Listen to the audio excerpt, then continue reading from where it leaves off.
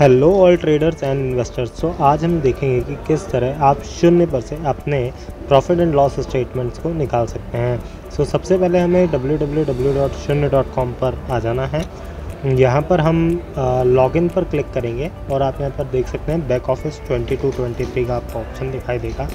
यहाँ पर आप अपने अपना आ, जो यहाँ पर आपने अपना लॉगिन क्रेडेंशियल्स डालना है और आपने जस्ट लॉगिन कर लेना है। आफ्टर लॉगिन आप यहाँ पे अपने टॉप में देख सकते हैं। यहाँ पर आपको फाइनेंशियल ईयर सिलेक्ट करने का ऑप्शन मिलेगा। सो so, यहाँ पर आपने अपना लास्ट फाइनेंशियल ईयर सिलेक्ट करना है जो कि 2020 टू 23 का था। सो आप ये इसको सिलेक्ट कर लेंगे। आप देख सकते हैं ऊपर जो है फाइनेंशियल ईयर 23 24 से चेंज होकर अब 22 23 का हो गया है। सो so, अब यहाँ पर आप पीएनएल रिपोर्ट पर क्लिक करेंगे।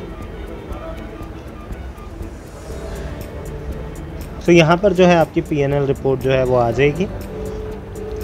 सो इस पेज पर आप देख सकते हैं अपनी पीएनएल रिपोर्ट को। लेकिन अगर आपने फ्यूचर एंड ऑप्शंस या फिर पूरी डिटेल्ड एनालिसिस देखना है तो वो आपको एक्सेल में दिखाई देगा। तो इसलिए हम यहाँ पर एक्सेल पर क्लिक करके एक्सेल में ये जो शीट है, इसको डाउनलोड कर लेंगे।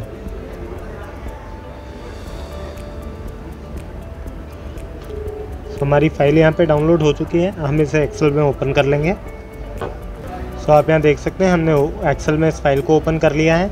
और यहाँ पर हम डिटेल में आके चेक कर लेंगे कि यहाँ पर हमें जो भी हमारा प्रॉफिट एंड लॉस है वो शो हो रहा है। इसी के साथ हम डिविडेंड भी चेक कर सकते हैं, हमें किस स्टॉक में कितना डिविडेंड मिला है, उसकी लिस्ट भी यहाँ पे आ जाएगी। एफएनओ में हम अपने एफओ के ट्रेड्स चेक कर सकते हैं फ्यूचर एंड ऑप्शंस के। ठीक है?